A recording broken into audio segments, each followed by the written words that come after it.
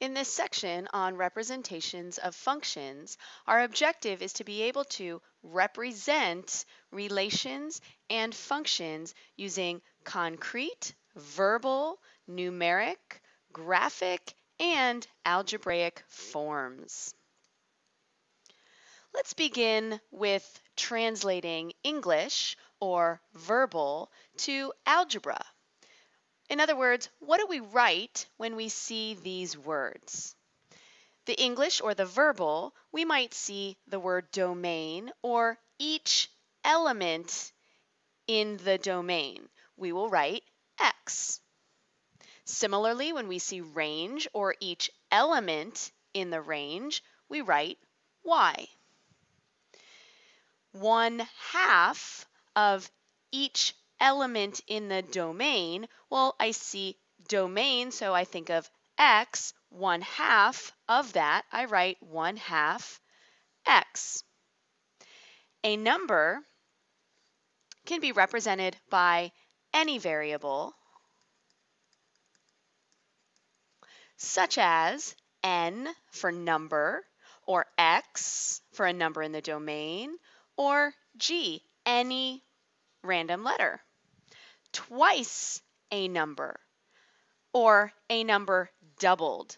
Twice or doubled means two times that number. So if I'm going to use n for number, then I'm going to write twice that number as 2n.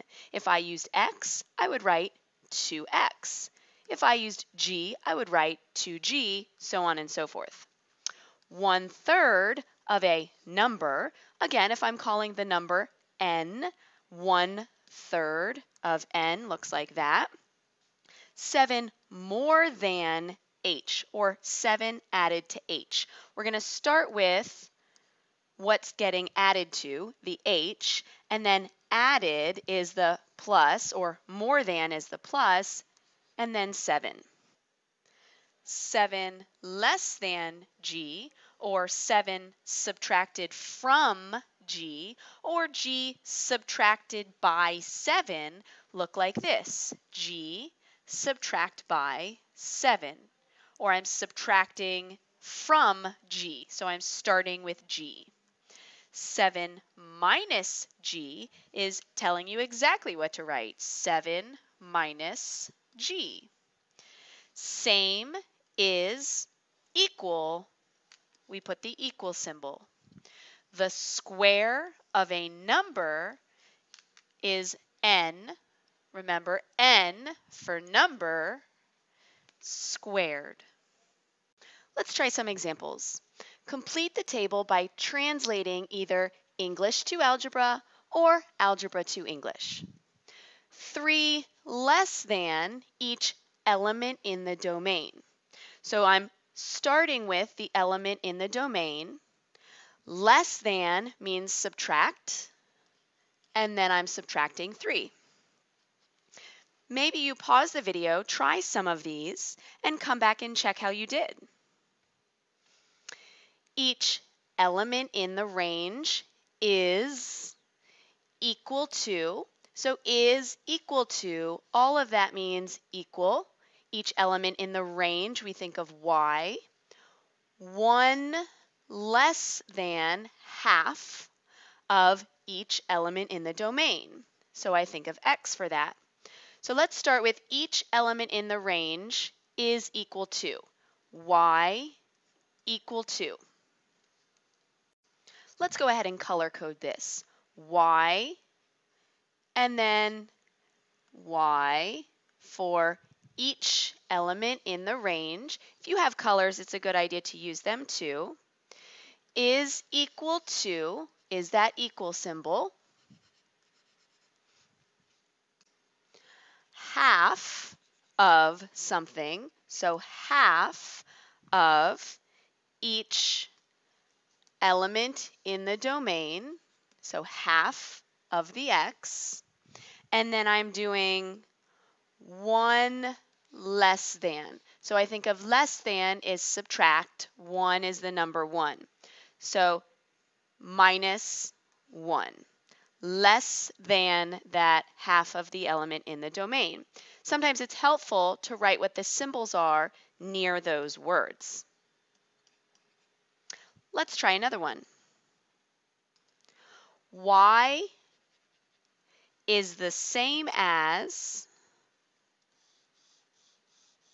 that's an equal, 1 half of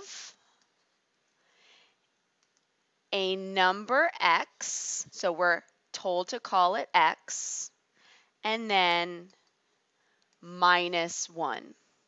So let's begin. y is the same as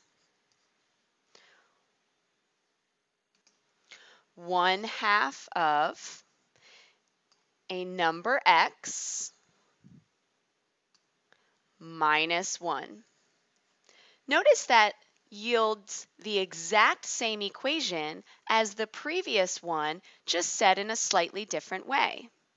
Let's see how we can translate the other way. I'm going to start with an equation and then go back to the verbal or the English. How do I say this part? Y is.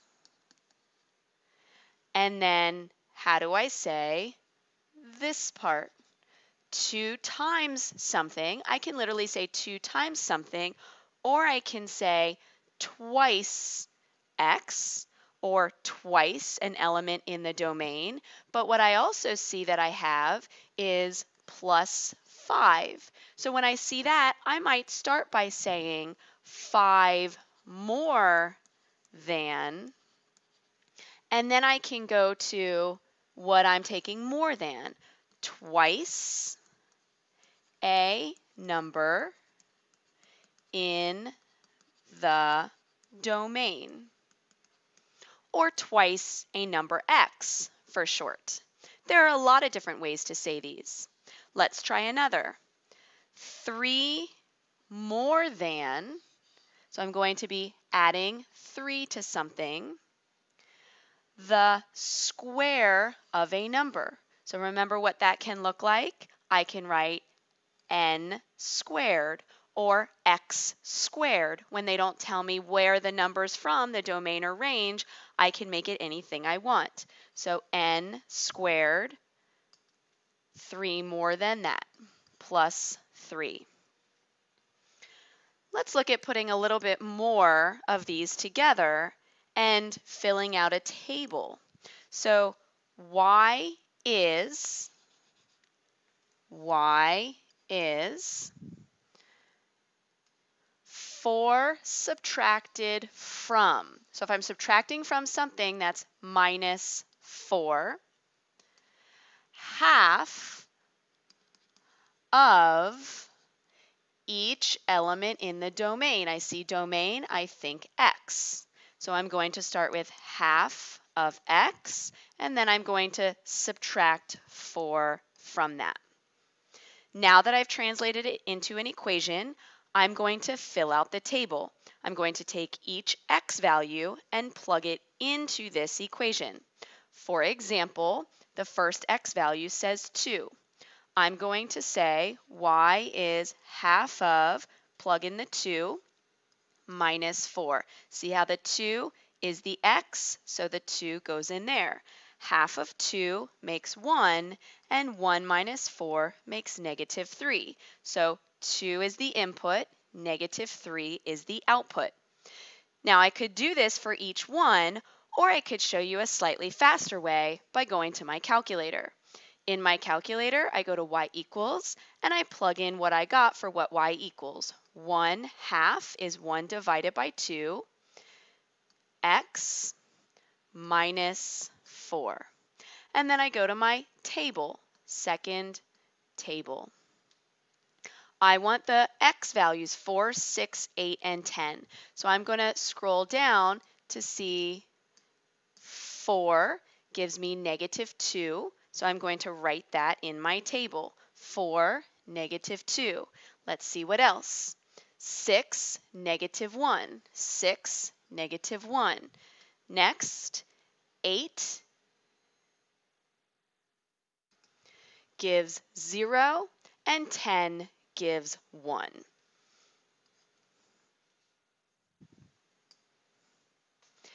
Let's take a look at translating graphs to tables and algebra. Example number one, part A. Consider the graph of the function. So we're noticing this graph. We might look at some places where this line crosses through the grid lines, such as here, or here, or here, or here. These are specific integral coordinates, integral points on the graph. Let's complete the table according to that graph.